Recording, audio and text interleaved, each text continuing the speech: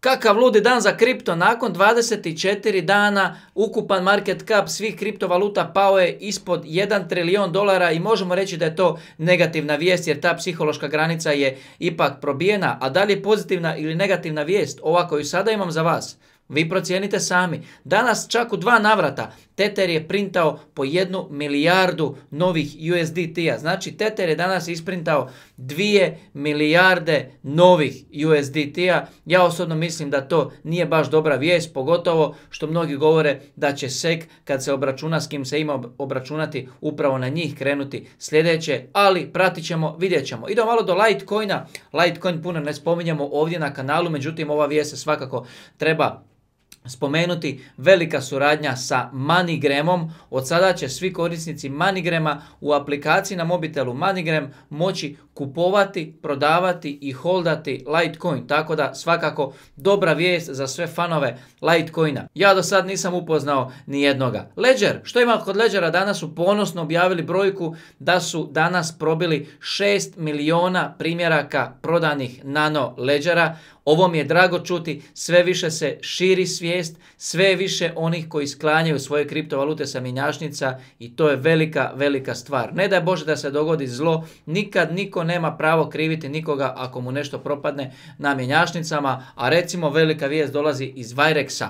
Virex ima 4,5 miliona korisnika u 130 zemalja. Da li ste znali ovaj podatak? Oni su danas objavili da sklapaju veliko partnerstvo sa Vizom, napadaju Veliku Britaniju i još 40 zemalja. Velika, velika stvar. Znate li koliko je Tom Brady izgubio na mjenjačnici FTX?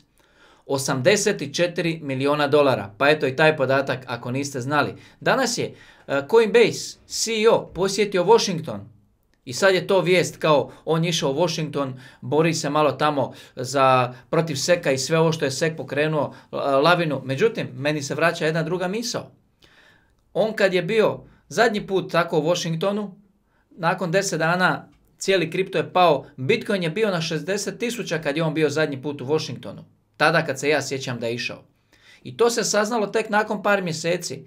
Da je bio u Washingtonu, da je bio BlackRock, da je bio ko zna ko sve nije tamo i nakon toga se srušilo tržište, maske okrenuo ploču, povukli su priču da će primati Bitcoin kao sredstvo plaćanja, sve se neke čudne stvari počele događati i onda kad, kako su zaustavili tu eksploziju Bitcoina, poslije se ispostavilo da je BlackRock i Coinbase išli u partnerstvo, da će sada znači, u suradnji sa Coinbaseom BlackRock nuditi velikim institucionalnim ulagačima priliku da kupe Bitcoin i tako dalje. I sada opet Armstrong ide u Washington. Ne znam, ja mu ne vjerujem, bit će zanimljivo vidjeti što oni to spremaju, jer uvijek, kako je rekao onaj, postoje vijesti za mase i postoje vijesti za klase. 99% svih vijesti koje mi dobivamo u kripto svijetu najčešće su vijesti za, za mase i zaista treba biti unutra satima i danima da bi nanjušio nešto što će biti vijest za klase,